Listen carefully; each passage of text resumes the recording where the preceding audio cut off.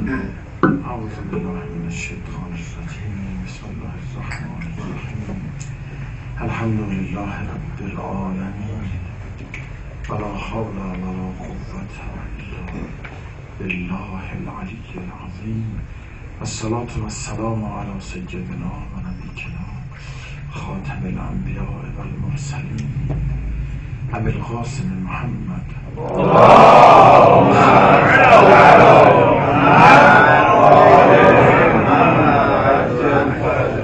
وعلى آله الطيبين الطاهرين المعصومين سيما بقية الله في الأرضين أرواحنا وأرواح العالمين بتراب مخرم الاتباع ولعنة الله على أعدائهم أجمعين. من الآن إلى قيام يوم الدين. بسم الله الرحمن الرحيم والتين والزيتون وطور سنين هذا البلد الأمين لقد خلقنا الإنسان في أحسن تقويم لقد خلقنا الإنسان في أحسن تقویم.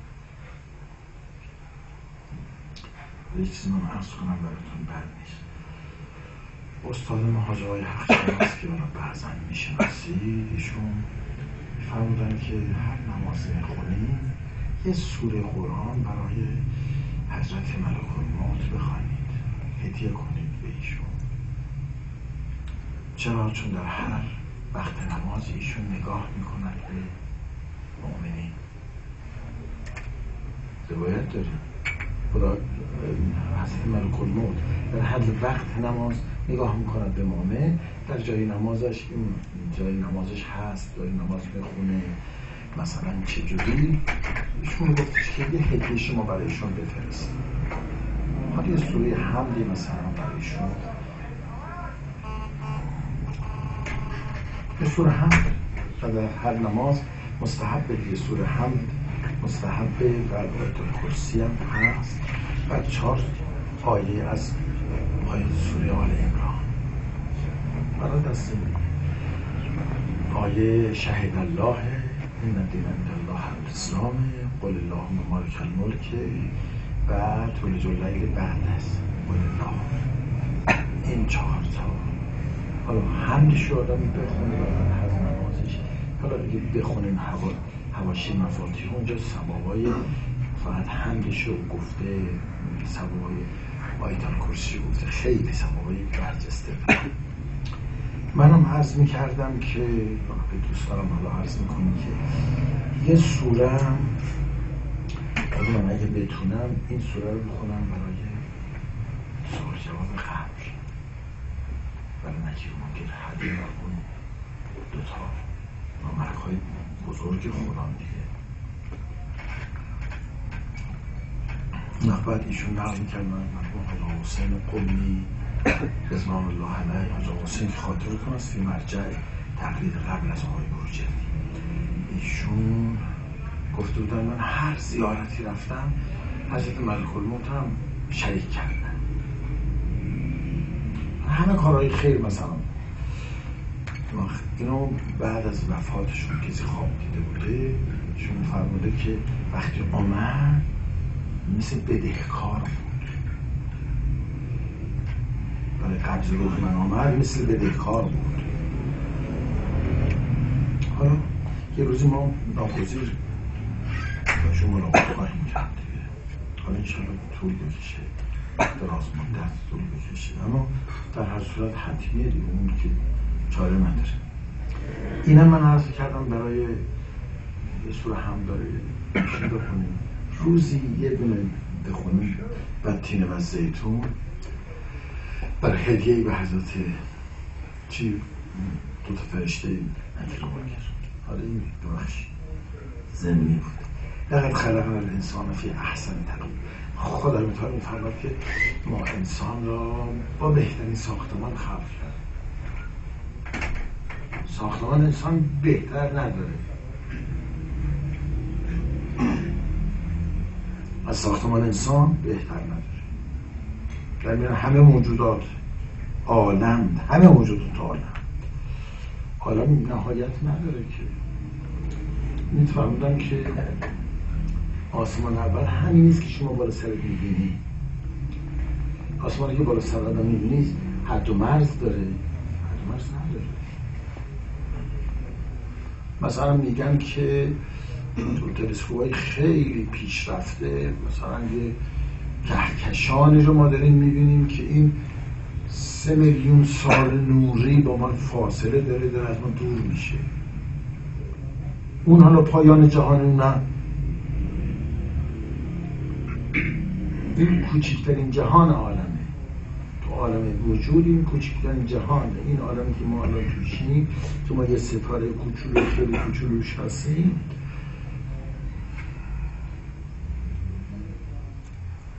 حد و مرز نداره. این در برابر آسمان دوم. این آسمان اوله آسمان این نیست که بالا سرتون می‌بینید آسمان اوله. آسمانی که درش ستاره های روشن دیده میشه این آسمان اوله. حالا تا عمقش تا هر جا هست. آسمان اول در مقایسه با آسمان دوم مثل یه قطر آب است در بهتری چقدر بزرگه؟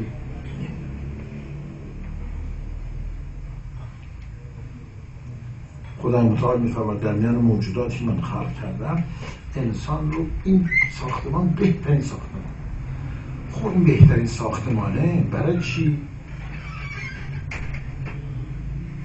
این نقشه ای داشته از خدای متعال.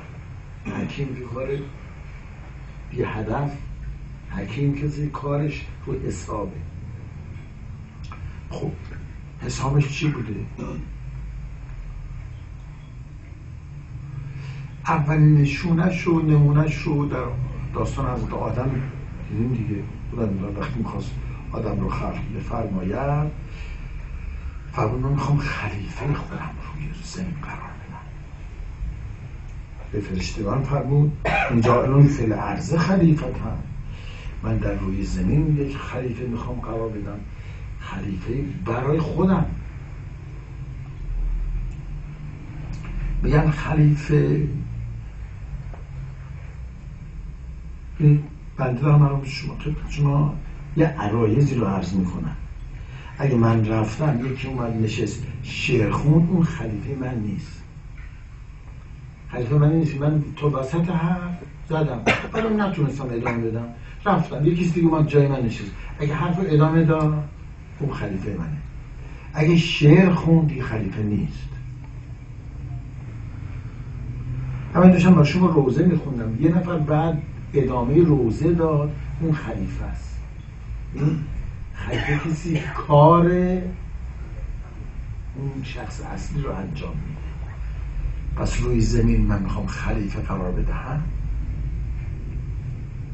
کسی کار خدایی بکنند انسان بنده است. این بنده. کاملا بنده. اونا اتفاقا بنده تر از ما هستن دیگه. این بزرگان را از ما بیشتر بندن. خاک و خارتر هم پیش خدای در برابر خدای متعال. ما حال یه ذره حال گردن کرفتی هم گاهی می‌کنیم. اونا هیچی. خودشون صفر می‌تونن در برابر خدای متعال. اون که این قدر بنده است کار خدایی می‌تواند بکنن کار خدایی رو شما دیدین می‌دونین دیگه. حتی عیسی علیه السلام میاد بالای قرن میستاد مثلا کن با نوک پا میکوبید به این قبر اون مرده زنده می‌شد بلند می‌شد وای میساد. صحبت می‌کرد و زنده می‌شد زنده می‌شد. مرده زنده می‌کرد. چرا؟ چون کار خدایی می‌تونست بکنه. چرا کار خدایی می‌تونست بکنه؟ چون خلیفه بود. خلیفت الله بود حضرت عیسی. حضرت ابراهیم خلیفت الله بود. این بزرگواران همشون خلیفت الله هست انسان بهترین ساختمان است و می تواند اگر از ساختمانش استفاده درست بکنند استفاده درست بکنند می تواند به مقام خلافت انسان رو خدا متعال خلق کرده است برای اینکه خلیفت الله باشد.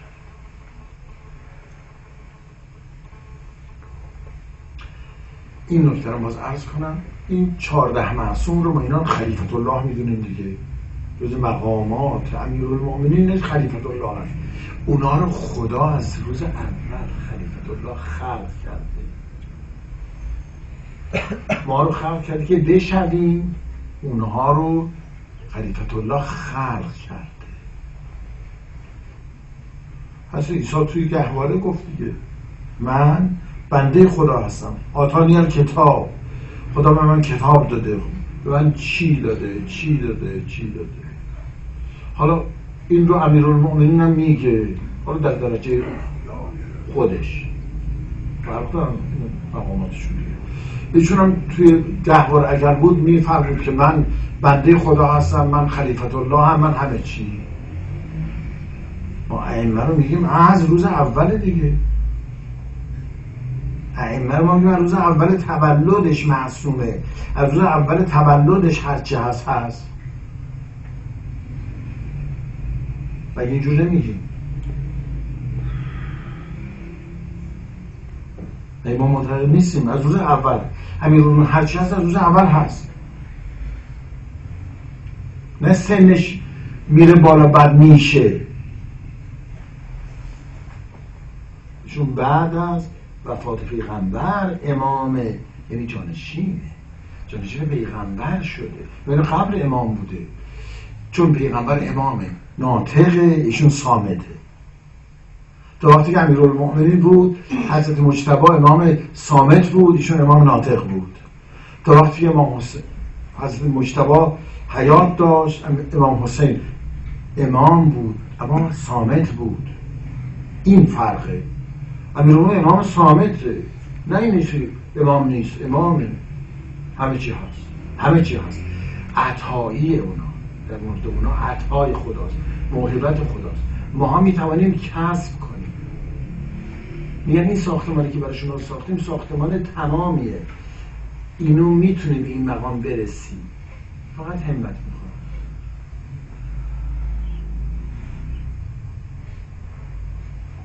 حالا برای بنده که دیر شده. سن آدم بگذره میگن دیر شده دیگه. توانایی نداره. برای اونجور دویدنی که لازم است. اما اونا که جوونن همت کنن ممکنه بشه جوونن همت بکنن. همت بکنن یعنی کار و زندگی باید بزنن کنار نه؟ کار زندگی رو هم می‌کنن. فقط درست می‌کنن. همه کار زندگیشو انجام میده درست. دقیق سطحی. زحمت داره البته حالا. اون چیزی که به دست میاد خیلی. اون چیزی که به دست میاد اگه آدم به اون برسه. به یه ذرهشم برسه به یه ذرهشم برسه میارزه. این ما بعدها این الان از میاد ما بعدها مرگ رو در پیش داریم. مرگ خیلیه. ما شوخی می‌دونیم. منم شوخی می‌دونم نه که ما ما. هیچ جدی حساب نمی کنیم امروز داشتم این داستان مشهوره. بسه دوستان می‌گفتیم. به قاضی گفتن که آقا یه جوانی فقط میگه من مردن قبول دارم. یعنی چه؟ ما مردن داریم قبر داریم قیامت داریم بهشت داریم. چطور میگیم فقط مردن؟ بیارینش ببینم. اوردن دیدن که جوان لاخر شده رنگ روش زرد سفید شده زرد شده تا چشمش گود رفته. تو فقط مرگ رو قبول داری؟ من مرگ فقط قبول دارم این شدم. شما معتقدی قیامت رو قبول داری؟ پس چرا چاق و چله ای؟ به منم میگم به منم هست. پس چرا چاق چله ای؟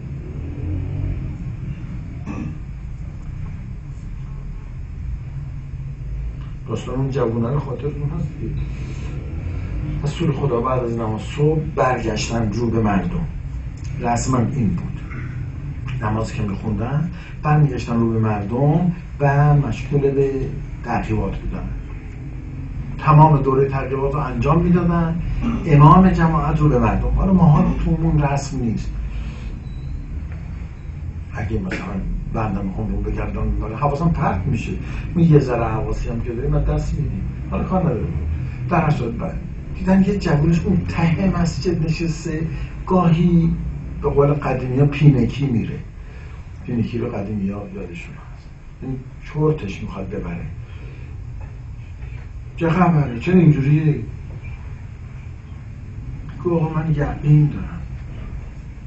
او خیلی حرف بزرگی می‌زنی. علامتی تو آقا تو صورت همون نگاه کن. چشممو نگاه کن. شب تا صبح نخوابیدم. شنیدین دیگه؟ خب مثلا در ترمشم گفت آقا نشون بدم اینا کدومشون جهنمی هم کدوم بهشتن اون اون آدم که قطعا شنید تو صورت هم نشون میده. من بهشت و جهنم مثل که صداش تو گوش همه.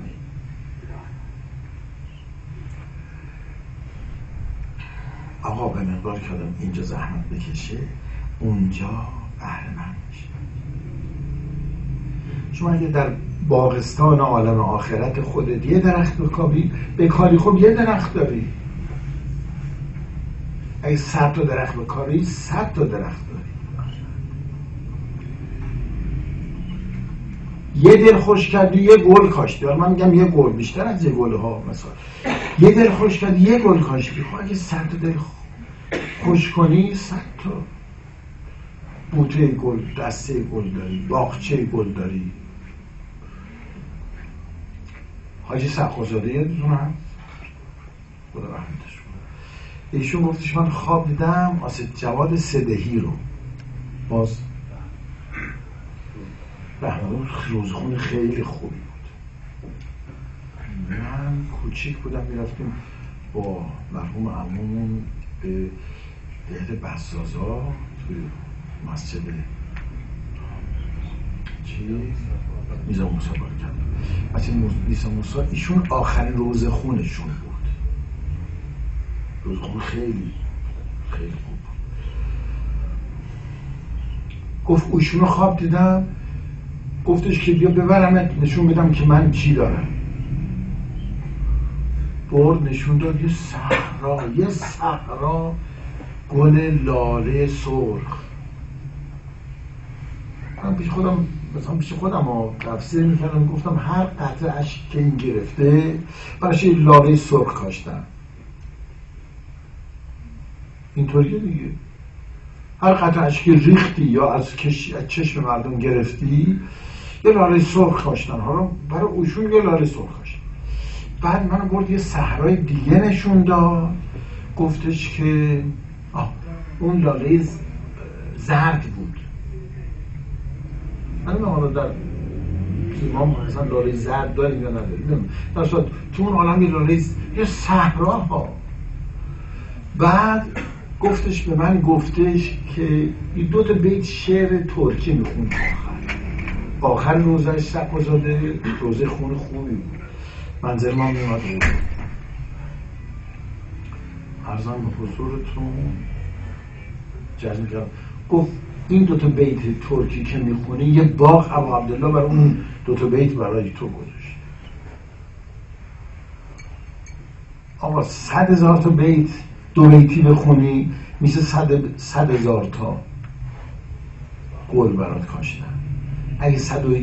صد هزار یه دونه بکنی میشه یه دونه اضافه. بستگی به کار داره. از یه ذرهش هم خوبه. یه دروغ پیش اومد یه دروغ پیش اومد توش هم سود داشت.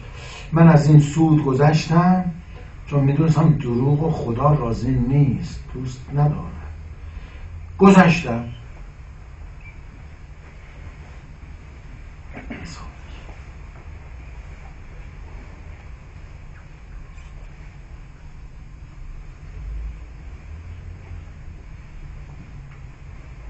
تو این جلسات که ما داریم. یه چیزش مطمئنا سود داره. یه کارمون مطمئن است که سود داره. اون سلوات است که میفرسته.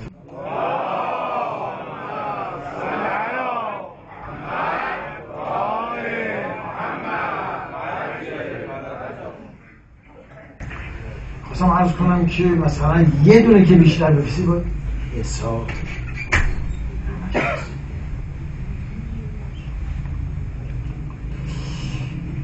اگر آدم همت کافی به کار ببرد همت کافی به کار ببرد همت کند از راحت بگذرد از راحت بگذرد همت کنند.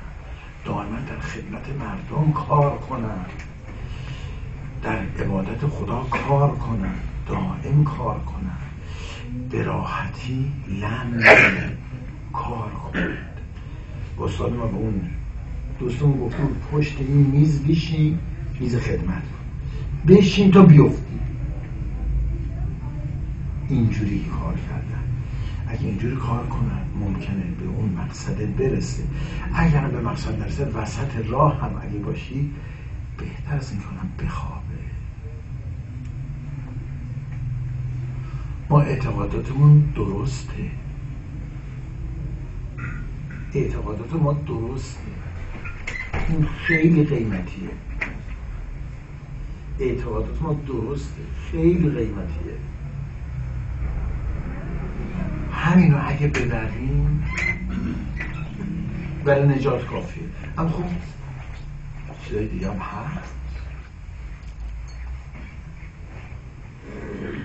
هرچی با اعتقاد درست کار کنی قیمت داره. اصلا اگه آدم یه ذره اعتقادش کج کله باشه به درد می‌خوره هیچی به درد نمی‌خوره. حالا مثال میگم من در اسمت امام ش... مثلا شک دارم. نمیشه. تو دینت مشکل داره. مثال زدم. من اگر اعتقادم همون اعتقادی که تو خونه یاد گرفتیم تو بچگی یاد گرفتیم تو روز خونی ها یاد گرفتیم همین اعتقادات اولیه. اگه اینو آدم سالم ببره نجاتش حتمیه. این نجات حتمیه. اعتقاد درست نجات آدم حتمیه. اما خب من در کنار اعتقاد درست مثلا پنج تا ظلم کردم. زنم دلش خون بود در دست من.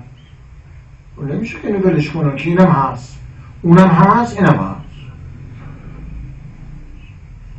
من دل مادرم رو سوزوندم.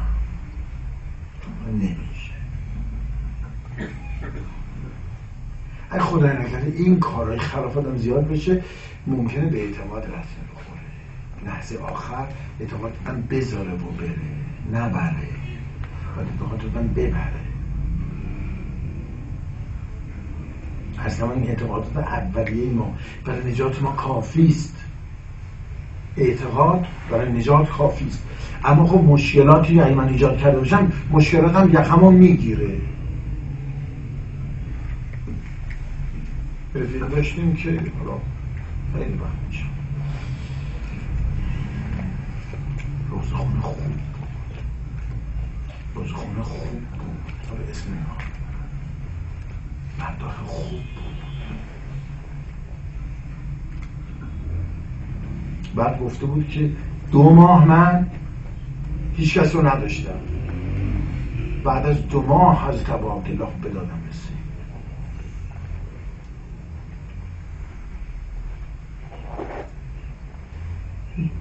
داره به اون این آدم چون با اعتقاد درست رفته نجاتش حتمی اما خب دو طول کشیده. یه کسی ممکنه خدایی نکرده ده سال تا به دانش برسم هر ذره ذره اینا رو همه رو بلدیم دیگه. فمن یه عمل مسخال ذرته خیردن یه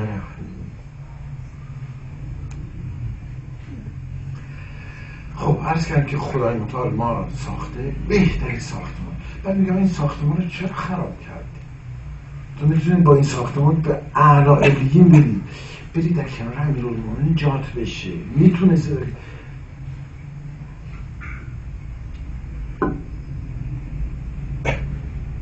یه آقایی در تبریز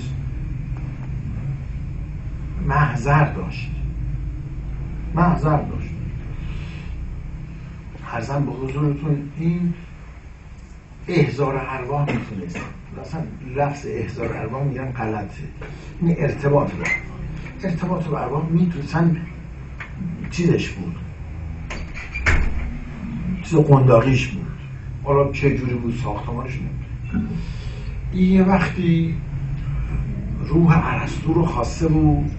به عرستو گفته بوده که من می‌خوام پیش تو فلسفه بخوانم چون گفته بود که میری قوم علامه طباطبایی نشون داده میری پیش ایشون. چون یه اخری داشتن آصف محمد حسن که تبریز بود. آقای آصف محمد حسین هم که به نظرم یا ایشون یا ایشون رو نشونی داده بود. حالا شده بود نشده بود نمید بعد ایشون پیغام داده دوست آقای طباطبایی که آقا من پدرت رو یه وقتی خواستم با پدرت مرتبط شدم احوال پرسیدم گفت من دلنگرونم از پسرم. ناراضیم. چرا ناراضی هستی؟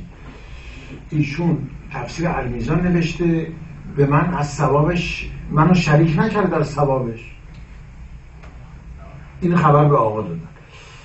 ایشون فرمود که من فکر نمی‌کردم ثواب داشته باشه کار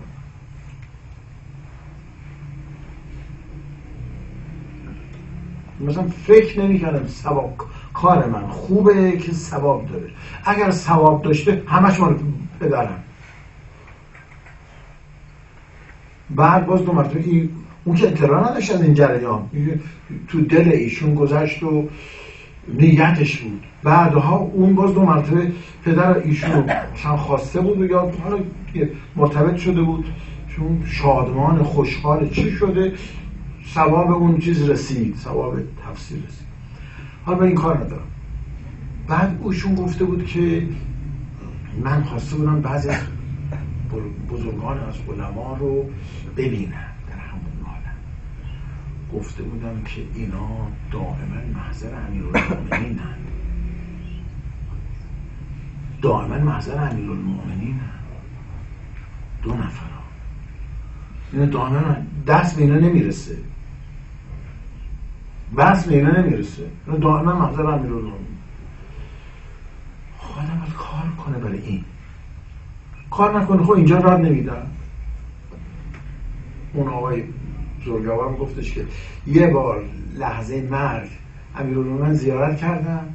این حسرتش مونده توی جیگرم. بعدم دیگه پادشاه عالم آخرته. پادشاه کی می‌تونه ببینه؟ اونم نتیجه اون پاک دامنی یک اون پاک دامنی. یه لحظه ایشون زیارت کرد. نتیجه عمر. اونی کسی که می‌خواد دامن محضر امیرالمومنین باشه ببینید چقدر باید کار بکنه.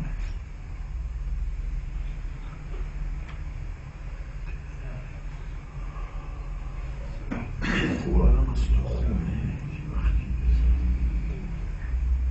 در تربیت پدر مادرش یاد بگیره کار کردن.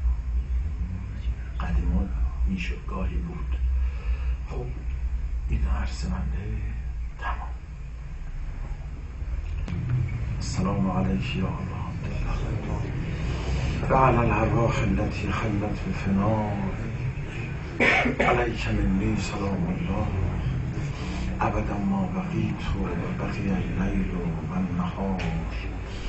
ولا جعله الله آخر العهد مني لزيارته السلام على الحسين.